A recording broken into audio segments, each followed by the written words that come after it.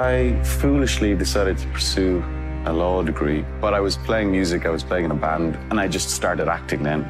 Those two things were happening, they became much more important than going to college. I didn't really go in at all, and I failed gloriously in the first year. I don't know, sometimes you feel like a total waste of space, really, when you look at people who have proper jobs. And then you go, what, the, what am I doing?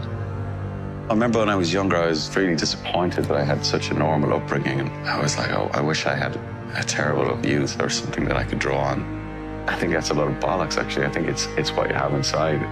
How you're able to be creative, it, it even come from a place of pain. It didn't come from a place of sorrow or, I don't know, it just comes from the need to perform.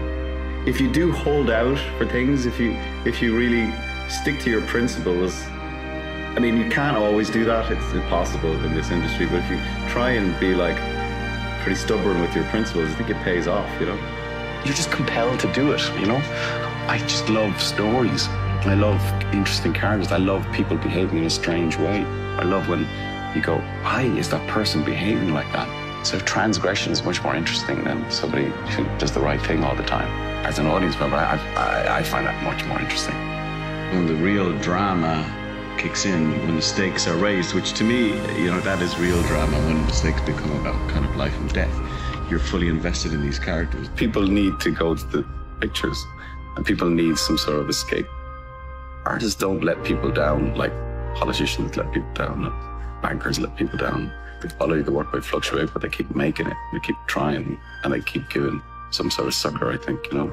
You ever were cruising in, in your career and felt sort of confident in everything that you did, uh, then there would be no challenge and uh, no excitement and no danger. It has to feel a little dangerous, I think. Yeah. You have to feel, certainly at the beginning, I don't know if I can do this. And then you go at it, and that drives it, that, that gives you the hunger and the energy to, to go at it.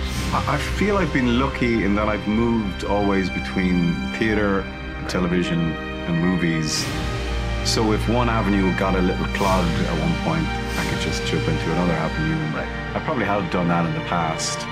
And I think it, I've always felt that if anyone would say to any artist, we love that, can you do it again? Like, you know, that happens not, not just in our business, but it happens if any time there's a potential for something being commodified or uh, being repeated, I, I think the artist or the creative person can the other direction.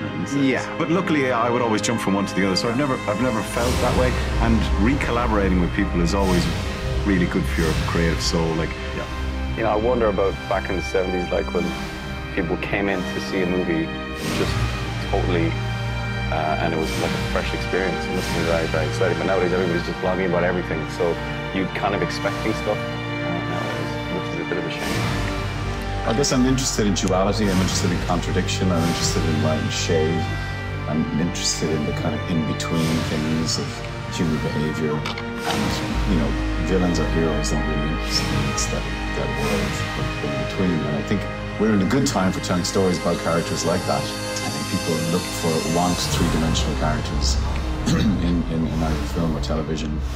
And because none of us are simple and straightforward, all of us are complicated. And I think people identify with characters that, even though they may be heightened, certainly in, in people are extremely heightened, but yet it is a story about family and completely connected to that. So, yeah, complexity is essential in storytelling. If your job is to portray something truthfully and honestly, then if, if it's happening in front of your eyes, it, it helps you enormously and it's a big advantage. So, uh, you know, when it spits fires are flying over for real and the water's on fire and the destroyer is tipping and it's all happening around you, of course you're heading towards a more truthful response, you know. So it, it, it, helps us, and I think it also helps the viewer. Is there anything you ever find hard to understand about Tommy, or that you've struggled with with how to play a certain aspect of Tommy's character? You can't play a character, no matter how far away he is from you, without, you know, bringing something of yourself to it. And the more you play it, then I suppose the more part of you he becomes. He never seems to sleep, he never seems to eat.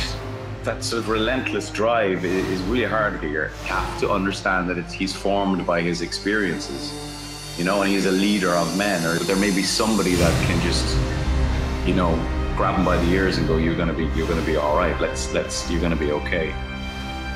The unafraid thing is is quite powerful. That you know, unafraid to die or accepting of death due to, to what he witnessed in the in the First World War, uh, and you know, has he has seen things that you know no man should should see and live with. And they all experienced trauma like that, and now we have a name for it. You know, PTSD. But um, so yeah, unafraid, and I think he doesn't see a ceiling on what you can achieve in life because he knows that it can be snapped out at any moment. When you're acting, there shouldn't really be any past or future. There should just be the present moment and full awareness, you know, of what's happening in the present moment. So I tend not to intellectualize anything at that stage. It has to be purely instinct. Actors do get treated. Um, you're used to being in a kind of a bubble. When I work, I work very intensely and get, get very heavily involved in it. It's quite immersive. And, but then when I don't work, I don't work at all for quite a long time, as long as I can keep it going.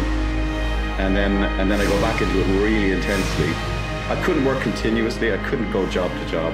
I don't have the capacity or the stamina uh, creatively to do that. I, I need to rest after a job, sort of fall back in love with it again, because I'm Yeah. I'm always exhausted after work. I'm like, yeah, that's it. I'm out. Leave me alone.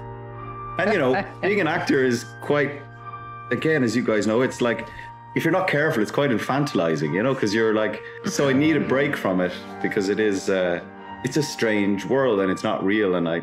And I love it. That's why having a family is so important because they, they will always let you know about what real life Yeah. is. And also, if you're going to represent the average person, then you got to live as best you can as an average person. I'm always very uh, conscious of that and just want to kind of live as decent a life off screen as I can, you know.